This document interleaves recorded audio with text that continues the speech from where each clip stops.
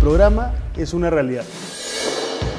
¿Cómo se le fue a Federer esa final de Wimbledon? 8-7, 40-15 con su saque, no la habían quebrado en el partido entero casi.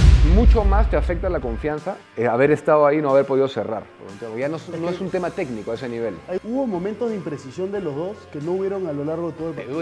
Es muy fácil hablar también, acordémonos de eso. En ese, en ese momento que el estadio se viene abajo todo, yo creo que él se debió tomar un poquito más de tiempo. El revés de Bautista Agut. Eso es un asco. Cáncer. El segundo saque de Andy Murray. O sea, al- la- esto, la tirada de la ¿Cuáles son los tuyos para campeón? Campeón Djokovic y Medvedev. Esas son nuestras apuestas. Los invitamos a que hagan sus apuestas. El que no arriesga, no gana. A Federer le pidieron que se retire en 2013, pero Escúchame, yo quiero que se retire.